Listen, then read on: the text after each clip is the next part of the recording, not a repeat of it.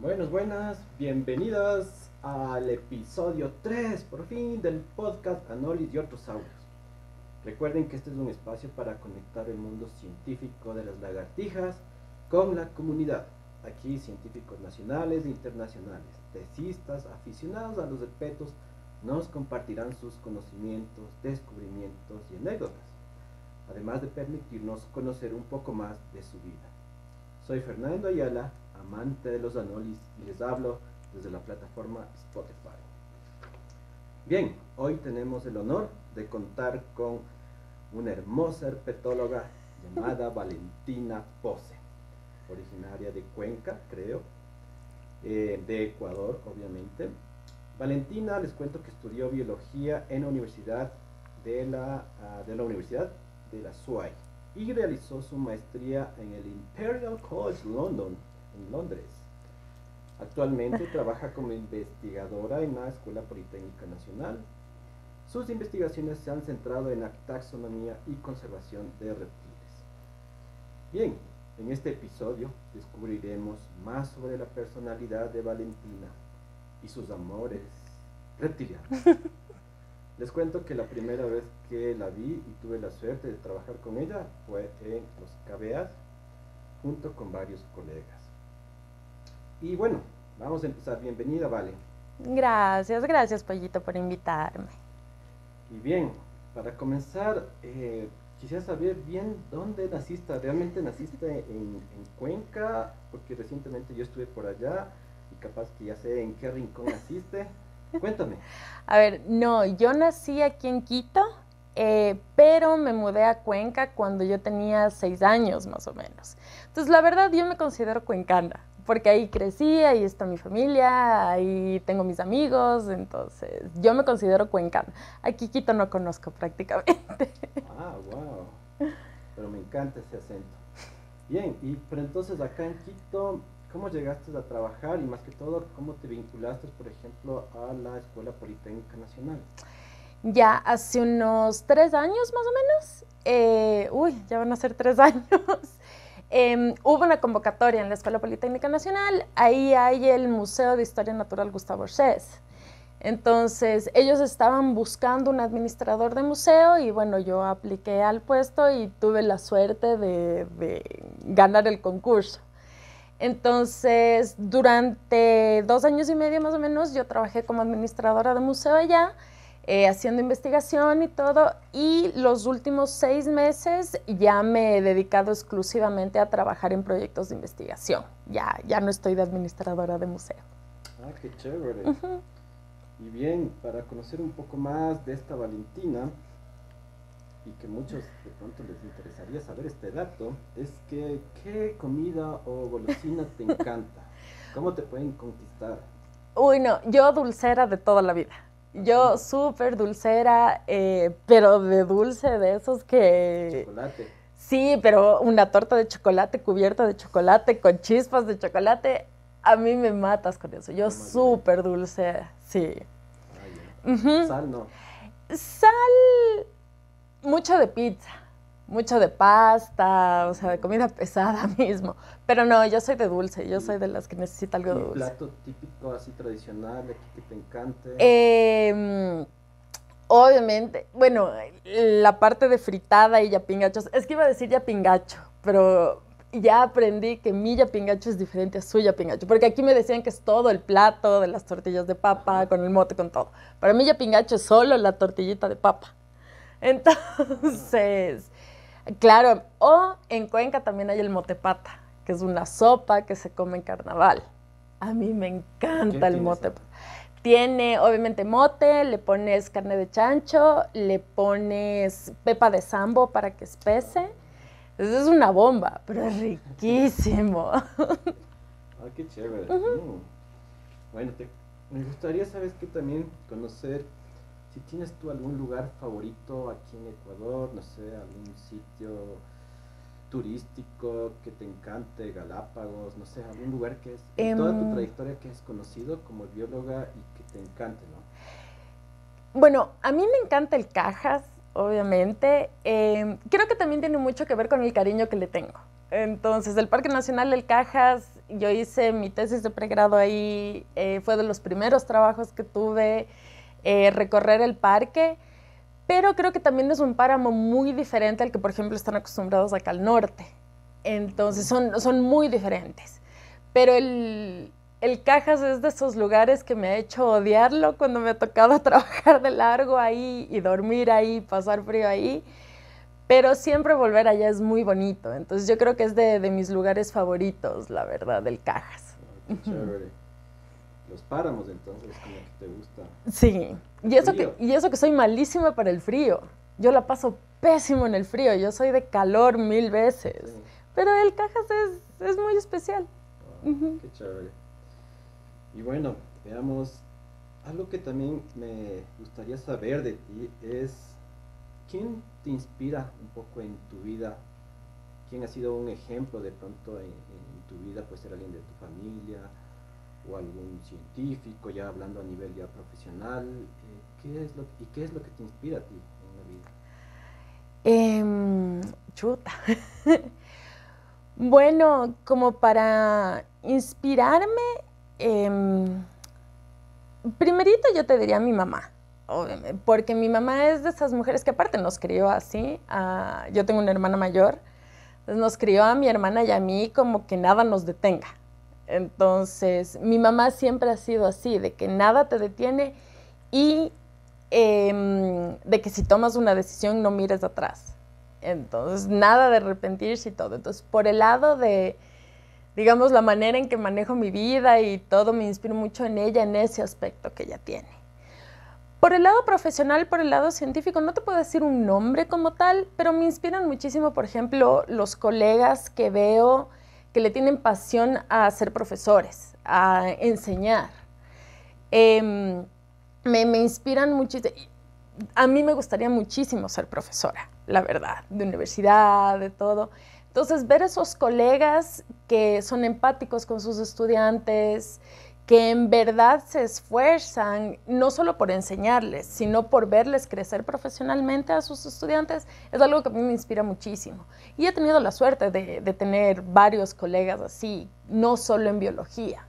Eh, algo de trabajar en la poli fue también conocer a más profesores. Entonces, ver esa dinámica en otras carreras y todo es algo que a mí me, me inspira mucho. Es como que el ejemplo, cómo me gustaría a mí ser profesora o llegar a los estudiantes si se diera que llegue a ser profe alguna vez. Pero verás que cuando hemos estado en los talleres eh, contigo, yo he visto y tú estás exponiendo, tú expones súper bien, chévere, como que te da ganas de seguir escuchándote. O sea, creo que tienes ese, ese don también de transmitir a la gente, ¿no? Ay, no, gracias. No lo sé. Uno siempre tiene sus inseguridades, ¿no? De si les estará interesando, si me estarán entendiendo. Porque uno puede ser muy apasionado por algo, uno puede saber muchísimo de algo. Pero creo que saber llegar a las personas eh, eh, es algo un poquito diferente. Entonces, sí, tal vez la gente que me ha rodeado y que me inspira sí, sí ha servido de algo. Sí he ido captando las cualidades que me gustan de ellos. A ver, y ahora entonces vamos a ver los orígenes. ¿Cuándo descubriste que te gustó la biología o la naturaleza? No sé cómo fue esa transición, ¿no? Em.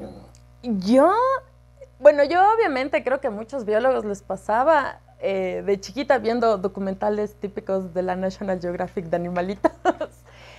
Em, pero yo tuve muchísima suerte y quiero pensar, eh, cuando yo tenía 15 años, en, en el tiempo de vacaciones del colegio, en Cuenca hay un zoológico que se llama el Amaru. Ahorita ustedes le deben conocer al Amaru gigante que está de la autopista más arriba.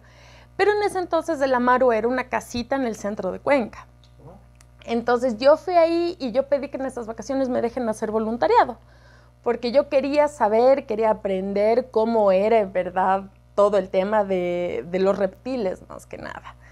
Y para ver si me gustaba, porque era como que el único contacto que yo iba a tener de reptiles. En, en Cuenca no hay serpientes en medio de la ciudad. Em, entonces, en ese entonces estaba Ernesto Arbeláez, estaba el Fausto Ciavichay y me aceptaron como voluntaria. Y con, ellos empecé a aprender más, empecé a ver, eh, obviamente estaba el cuidado de las serpientes, tenían las ranas, tenían peces también. Y fue de esas cosas que yo dije, bueno, me gusta y más que nada me, me interesa, quiero saber más de estos animales. Y a mí algo que, que siempre me llamó la atención fue un, ¿por qué les temen tanto estos animales? O sea, ¿qué, qué tienen de malo? ¿Por qué a la gente no les gusta? Eh, entonces yo empecé así y, y, te digo que tuve mucha suerte porque a partir de eso nunca dudé que yo quería seguir biología. Entonces yo directito, ya cuando tocó entrar a la U, me inscribí a biología, entonces creo que cuando te toca elegir la carrera, eh, a muchos pasa de que no sabes, no estás seguro, o entras a la carrera y te das cuenta que no te gusta, que no es lo que querías. Eh, yo tuve mucha suerte porque a mí no me pasó eso. Fue como que yo sabía que quería biología y llegué a biología y me gustó muchísimo más. Y siempre supe que quería anfibios y reptiles. Siempre. O sea, es que fue eso, fue en el Amaru ver y exacto, y es como que me gustó muchísimo. Es, es todo ese grupo raro, no raro, pero no tan querido, digamos, ese, wow, ese grupo chévere. de animales. Entonces tuve muchísima suerte. Yo sí tuve una transición, se podría decir, para llegar a, a, los, a mis amores anolinos, desde peces, roedores, ¿Ya? anfibios. Entonces, pero fue chévere también por conocer otros grupos, ¿no? Pero uh -huh. bacán. A ver, y entonces, bueno, ahora que ya sé que podría decirse que casi siempre te gustaron entonces los reptiles o más los anfibios en algún punto. Eh, siempre me gustaron más los reptiles, pero obviamente empecé a trabajar más con anfibios al principio, por lo que te decía, al, trabajar en Azuay, al trabajar en Cuenca, más que nada en, en páramos, eh, se tiene mayor acceso a anfibios. Reptiles es eh, algo que llegó un poquito después, eh, la posibilidad de trabajar con ellos. Eh, pero sí, yo empecé con, con, anfibios, empecé con... Tal vez sea porque también había más gente en ese entonces que estaba involucrada en anfibios y que te enseñaba justamente sobre Sí, eso. justamente. Eh, nosotros empezamos un museo en la Universidad de la SUAY y como tú dices, eh, quienes nos enseñaron cómo manejar el museo, cómo hacer curatoría, siempre estuvieron más ligados a anfibios. Entonces, fue algo con lo que empezamos a trabajar primero. Eh, reptiles siempre estuvo ahí, o sea, estuvo en el, fondo de mi cabeza de que quería practicar más y aprender más.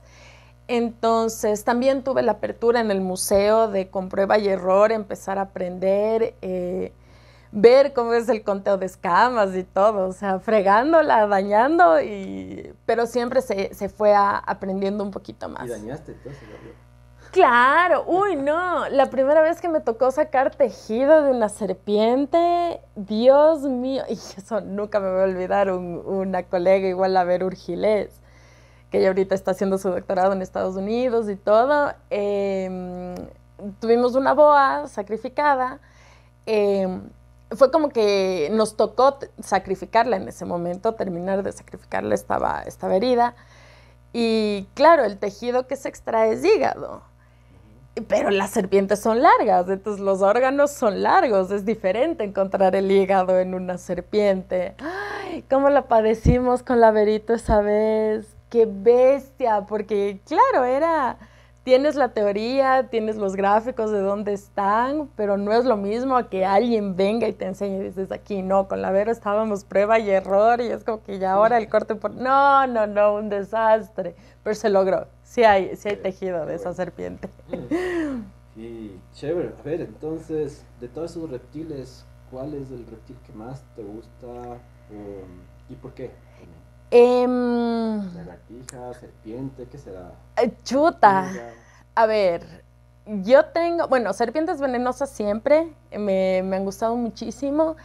Hay una coral, hay... Eh, la Micrurus narduche, es una culebrita de este porte eh, que tiene todo el dorso negro y solo tiene las manchitas en el vientre. Entonces, yo la vi por primera vez, pucha, en uno de mis primeros trabajos de, de consultoría ambiental. Y claro, te quedas loco porque no es el concepto o la imagen que tenemos de una serpiente, de una coral. O sea, no tiene anillos completos, no es roja, no... Y es un animal tan chiquitito, es tan tierno, es tan lindo. Entonces me, me, gusta mucho y me llama mucho la atención porque creo que además muestra eso, lo variables que son los reptiles. Eh, y lo diferente que es la herpetofauna aquí en el Ecuador. porque por lo general el concepto de la coral, de los anillos y todo son cosas que vienen de Estados Unidos, lo que sea. Y aquí el Ecuador obviamente nos salimos de la norma en todo. Y mm, obviamente yo ahorita tengo que hablar de mis cocodrilos, o sea, yo les estoy agarrando un, amor, un cariño a los cocodrilos. Eh, ¿Y te has lanzado hacia los cocodrilos? sí, he tenido la, la oportunidad. Em, de, trabajar con ellos últimamente y, y son animales impresionantes. Son, uno pensaría que son medio tanques de guerra, súper duros y esas placas, pero no, los tocas, los agarras, son suaves, eh, tienen una ecología súper chévere, tienen una evolución, o sea, ya cuando ves la historia evolutiva de ellos es lindísima, y son animales que están olvidados, mucha gente ni siquiera sabía que había cocodrilos acá en el Ecuador.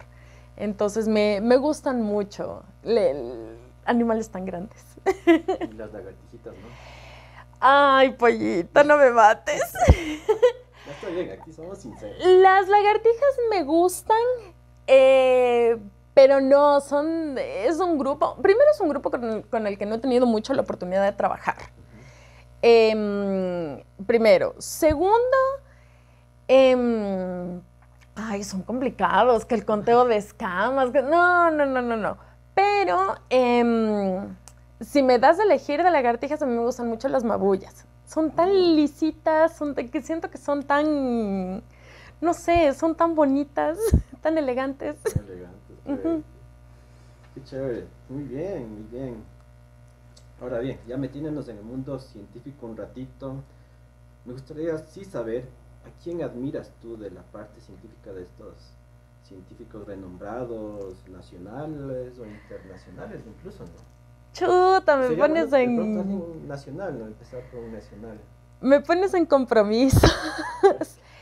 Em, vuelvo y te digo, es eh, más que admirar una persona, mi admiración se va por, por la capacidad o la apertura que han tenido a, a enseñar. Entonces, es una admiración y un agradecimiento que yo les tengo de mi parte. Em, obviamente primero el Juan Carlos Sánchez, porque con él estuvimos en el museo y él fue el primero que cuando yo llegué a la U le dije, ¿puedo salir a, buscar anfibios y reptiles con vos?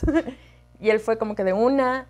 El Mario Llanes fue quien llegó y nos enseñó cómo manejar un museo, cómo es la curatoría, siempre súper dispuesto a enseñarnos, con mucha paciencia el Mau Ortega, que igual una persona que tiene, como te digo, la apertura, las ganas de enseñar, que te pasan información sin ningún problema.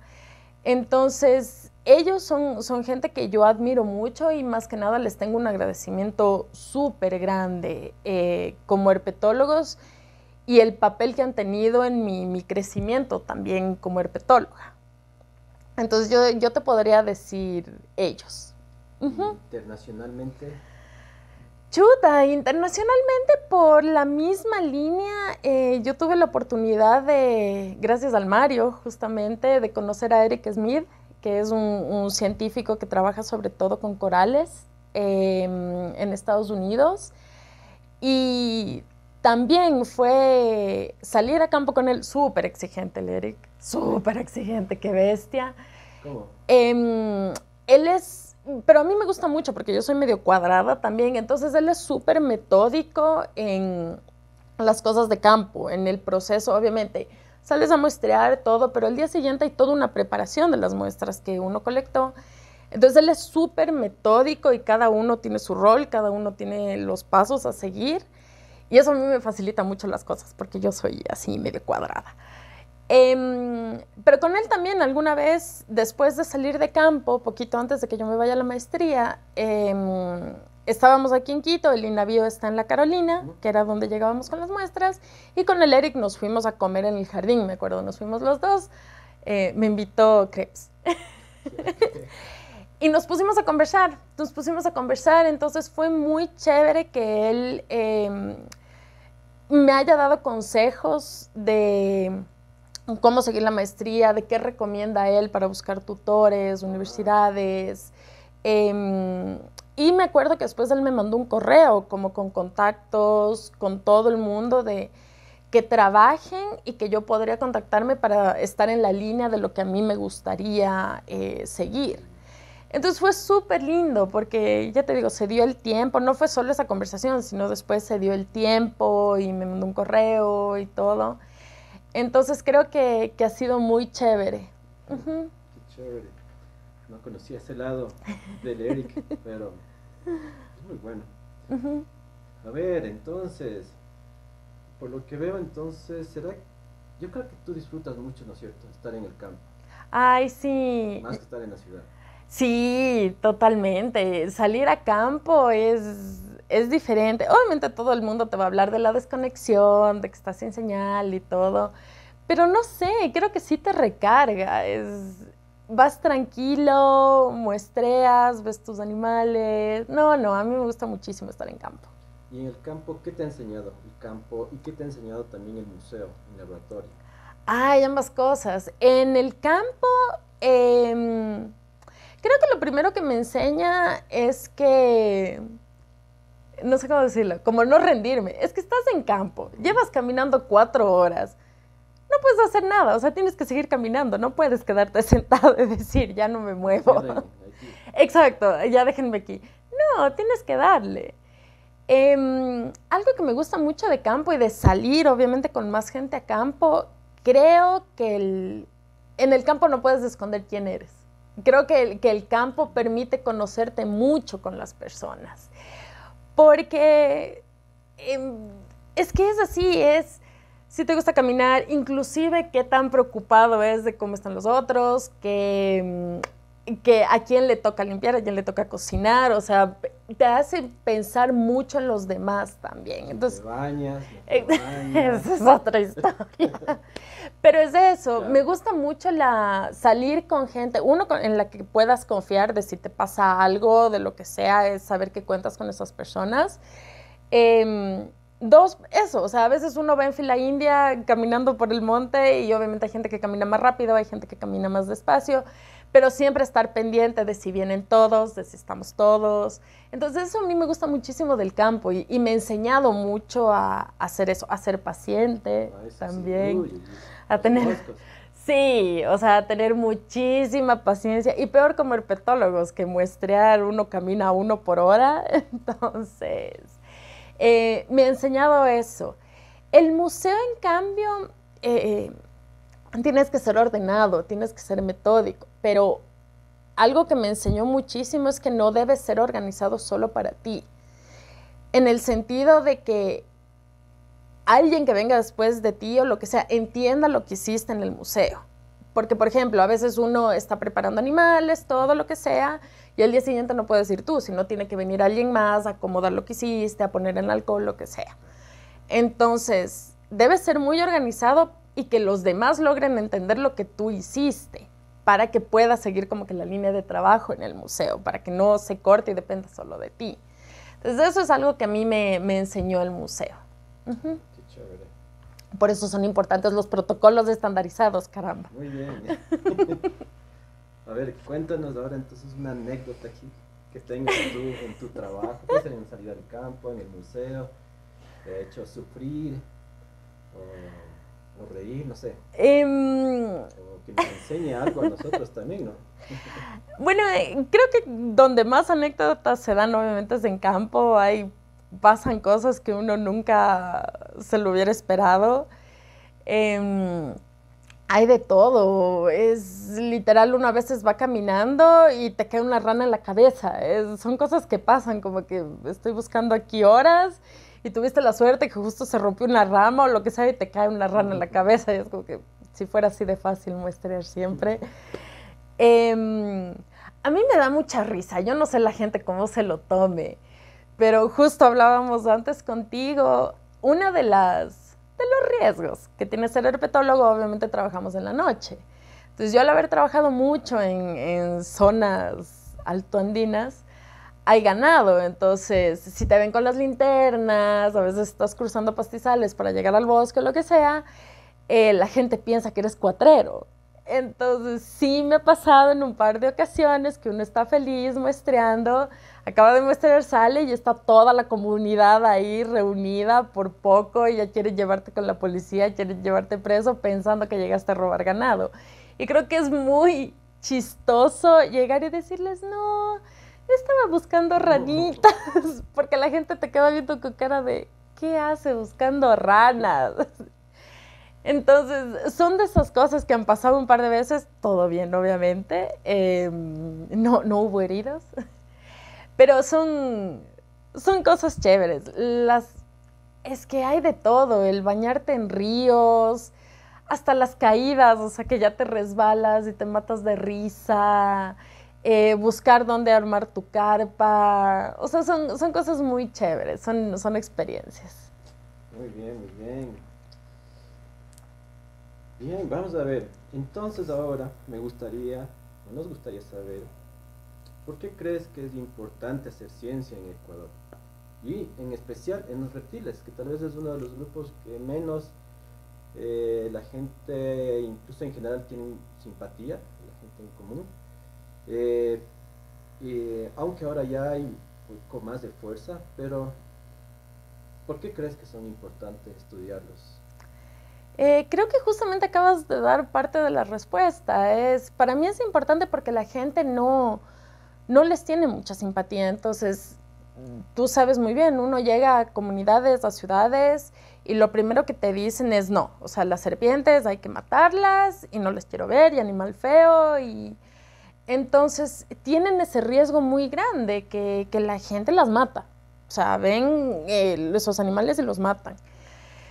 Em, segundo, se sabe muy poco. O sea, yo creo que, a comparación de otros grupos, al menos la, historia natural, que es donde se reproducen o cosas así, se sabe muy poquito.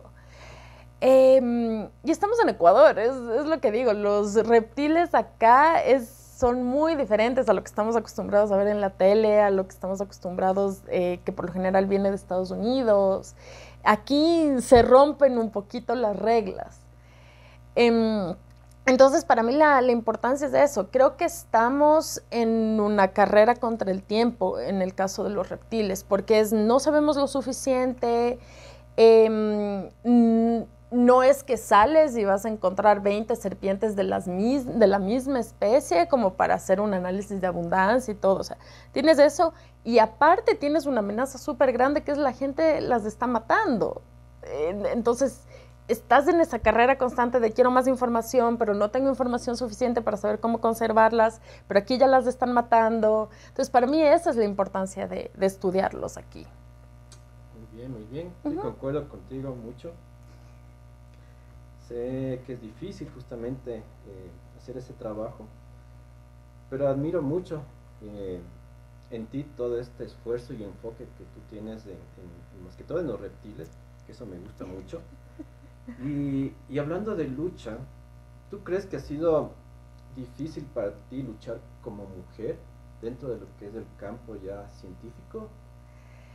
¿Cuál es tu perspectiva em, sobre eso? Creo que también es una, pregunta complicada. Em, yo no sé si decir mi, lucha como mujer como tal. Creo que, todos los investigadores o, todos los científicos han tenido su lucha propia no necesariamente las mujeres, o al menos yo he tenido la suerte, no lo sé, de no sentir que por ser mujer le he tenido que luchar más.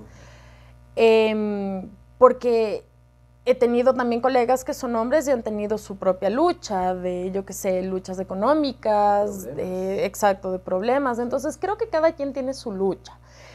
En mi caso, ya te digo, yo creo que he tenido suerte porque me he rodeado de colegas que han visto más allá de si soy mujer o no.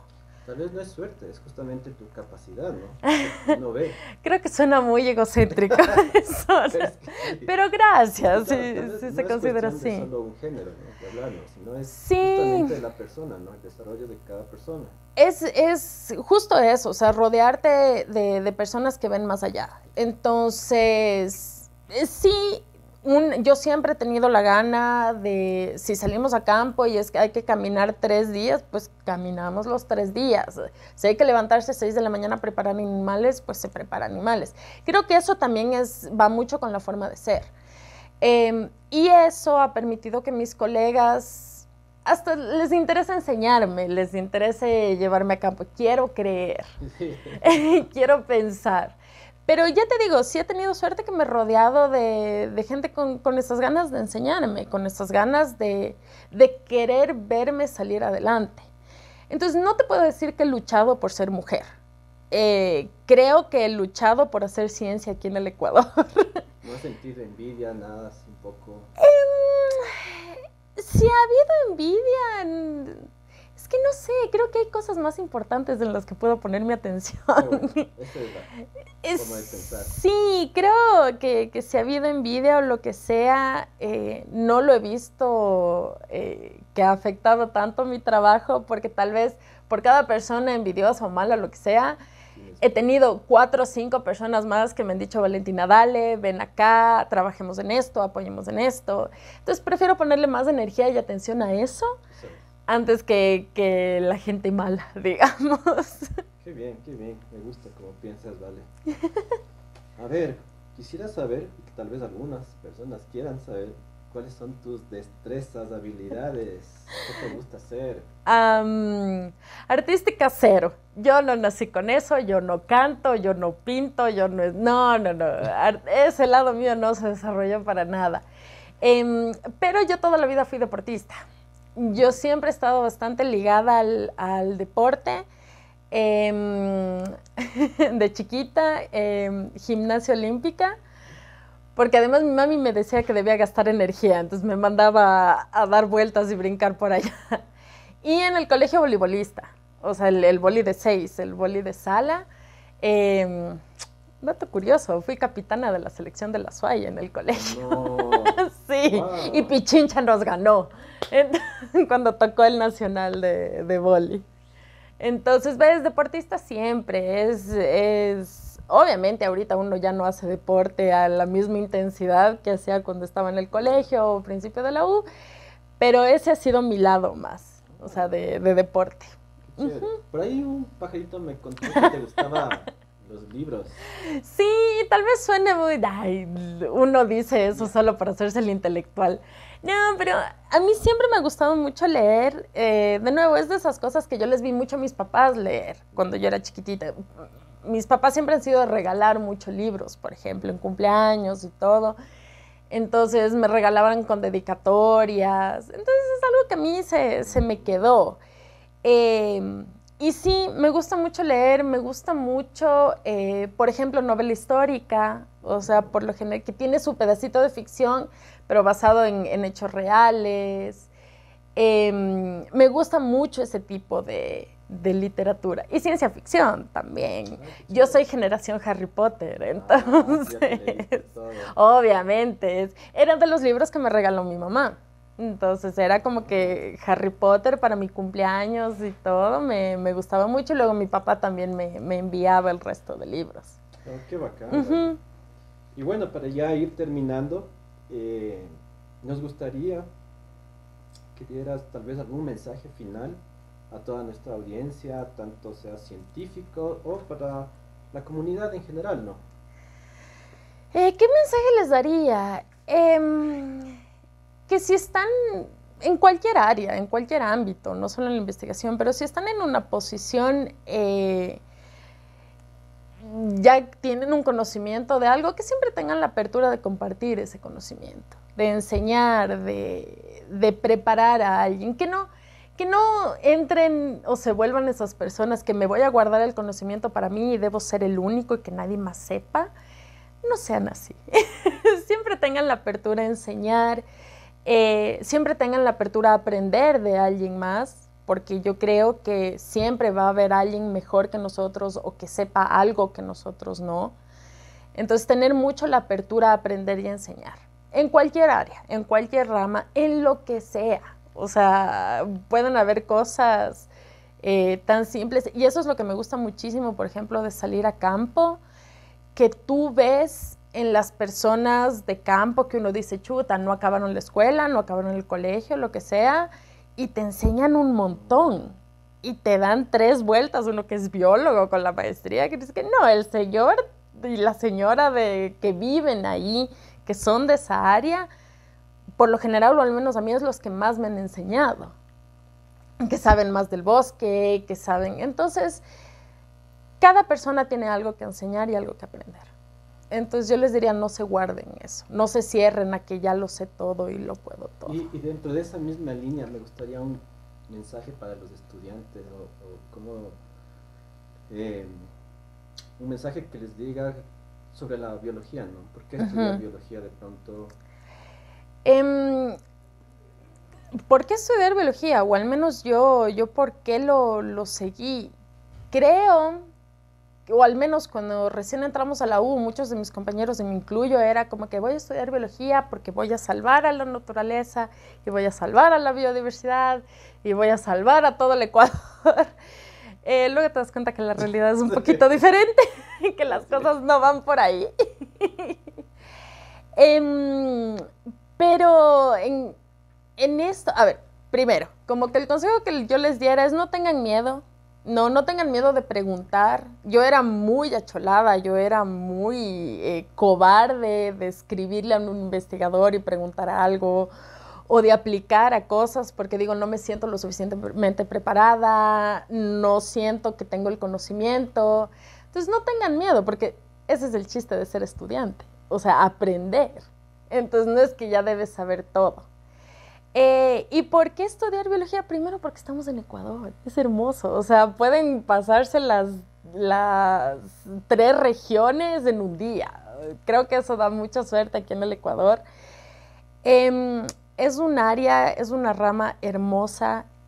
Tienen 20 mil opciones. Ok, yo soy herpetóloga, soy de campo, pero si quieren seguir en esto de campo hay más grupos, hay mamíferos, hay aves, hay peces, hay plantas no quieren eso, pueden estar en laboratorio si no les gusta, no les gusta eso, tienen educación ambiental, si les gusta más estar ligada con personas y todo, tienen la parte de educación ambiental, tienen la parte de conservación, tienen la parte de regulación ambiental, de legislación ambiental. Entonces yo creo que hay, la biología te da muchos campos súper amplios, no solo relacionados a animalitos o plantas, por ejemplo, que es lo que se suele pensar tienes la manera de generar un impacto en, la humanidad, digamos, desde muchas áreas, desde muchas ramas. Yo creo que eso te da la biología, no solo el ir a campo, ver animales, todo eso.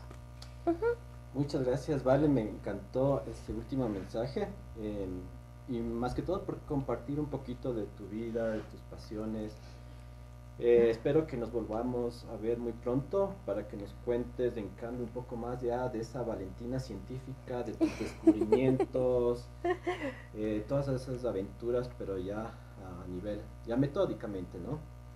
Quiero agradecer también a todos los oyentes de este episodio de Anolis y otros audios, que recuerden que pueden encontrar todos los episodios en Spotify. Eh, quiero también agradecer a todos por sus comentarios y compartir nuestro contenido en sus redes sociales. Y si quieren que entreviste a alguien en particular, no duden en avisarme. Les deseo una semana fantástica y larga vida a los Anolis del Ecuador. Muchas gracias. Gracias a ti, Pollita. Y bueno, bueno, aquí casi me mata la Vale, así que vamos a hacer una extra tiempo después, así que, porque nos quiere contar algo. Vale, ¿qué será? Una, una adenda. No, no, pollito. O sea, simplemente agradecerte, en verdad, por haberme invitado y porque hagas este tipo de iniciativas. Creo que es muy chévere porque a veces uno piensa que los científicos solo son serios, inalcanzables o lo que sea. Em, y ver este lado como que más relajado, como de gustos, como todo, creo que va a abrir muchas puertas. Primero que los estudiantes vean que, eh, que se puede llegar a más gente, que se puede, para que no tengan vergüenza de escribir o de preguntar a alguien, viendo de que es una persona relajada, son tranquilos. Entonces quería agradecerte muchísimo eso, Pollito, tener esta, esta iniciativa y darle este enfoque, no solo científico, sino de conocer un poquito más lo que es la persona, sus gustos y todo. Y ahora la gente ya sabe que me puede dar pastel de chocolate si me quiere de- ver de buen genio. ¿Cómo conquistar a Valentina? No. Eso nada más, pollito. Muchas Gracias. gracias, Vale. Muchas, muchas gracias por tus palabras. Y, y no, y yo siempre he considerado que tú eres una persona que tiene muchas capacidades y eso es algo que admiro y siempre comparto a mis colegas también, así que ya tendré llamar. y muchas gracias, eh, más que todo por esa personalidad tan linda que tienes. Ay, gracias, pollito. Gracias a ti. Nos De vemos. verdad.